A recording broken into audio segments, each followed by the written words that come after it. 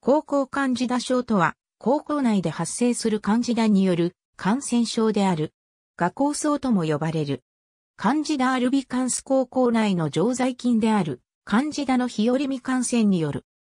常在菌であるため、健康な人の場合発症することは、ほぼないが、高校内環境といった局所的因子の他に、何らかの基礎疾患や抵抗力の弱い乳幼児や高齢者、免疫抑制剤や抗菌薬の投薬治療を受けているといった全身的因子による発症が見られる。慢性型のカンジダ症の場合、細胞性免疫が重要な役割を果たすとされており、そのため CD4 陽性 T 細胞の減少によってエイズ患者への発症が多い。ほとんどは新生児の時期に基礎疾患を持たない生理反応として生じる。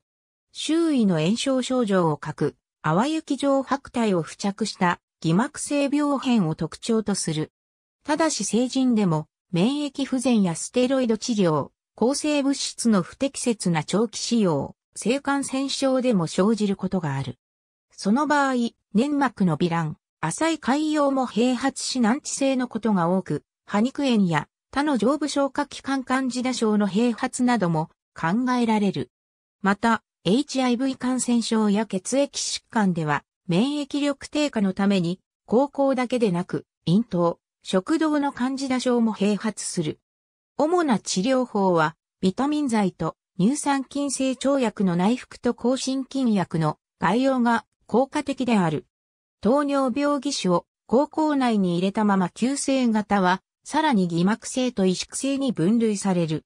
急性偽膜性カンジダ症は、高校内のカンジダ症で最も多いもので、画構想の症状の一つである。乳児や高齢者に発症しやすい。急性型では、臨床的に初期では無症状の乳白色苔状の斑点が粘膜に見られる。いわば、白体といって白いミルクカスのようなものが付着した状態である。その後、徐々に融合しながら拡大する。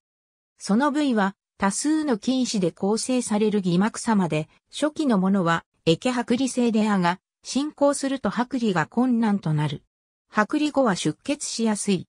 また、剥離して海洋化することは少ないが、海洋化した場合には二次的炎症を併発するなど、症状が強く出ることもあるので注意が必要である。高校粘膜のどの部位でも発生するが、歯肉粘膜は比較的少ない。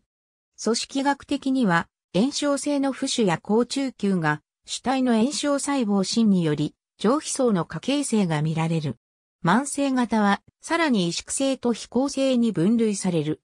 慢性非構性患ジダ症は、急性偽膜性白板症から移行したものである。白い偽膜は硬くなり、明らかな白斑が認められるようになる。患ジダ性白板症とも呼ばれるように、他の理由による白板症との鑑別が困難となる場合がある。後発部位は、広角部近くの口唇や、方粘膜部。口唇筋薬に対する抵抗性があることが多く、また剥離性は低くなり容易に拭うことができない。小中量系絶炎は、慢性非構性患ジダ症であることが判明している。組織学的には、上皮の過形成が見られその表層は価格化あるいは錯覚化を停止、角質層に菌糸を多数認めるがこの菌糸は、トゲ細胞層や基底細胞層には認められない。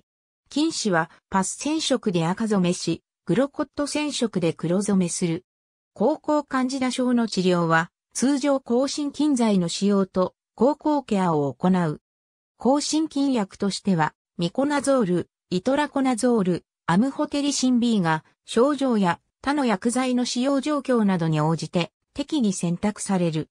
また、高校ケアは、高校内の良好な衛生状態を維持することで、カンジダの菌数の増加を防ぐが、高校ケアのみでは一度発症した高校カンジダ症を治癒させることはできない。新生時期や乳児期の場合は、自然治癒することも多いため、積極的な治療は行わず経過観察することもある。その他、原因となっている基礎疾患の治療、投薬の中止などが行われる。抗心筋薬の使用には耐性菌や副作用の問題があるため、新たな治療薬としてラクトフェリンの研究がなされている。義肢の床用レジンは、高校内不潔な場合高校カンジダ菌が繁殖しやすいので、義肢の清掃や高校清掃を怠ると義肢性口内炎を発症することがある。義肢の清掃方法は、義肢ブラシにて義肢に付着した食砂をきれいにし、就寝時には義肢洗浄剤に浸しておくのが望ましい。なお、歯磨き粉で義肢を磨くのはしてはいけない。中川原 P8AB 前田ピアニッシモ22から23強の皮膚疾患治療指針第3版28小 P603 医学書院 ABCD 前田 P20 テライエトール前田 P22 中川原 P49 57中川原ピアニッシモ。49から56中川原。P57 中川原。P31 清浦。ありがとうございます。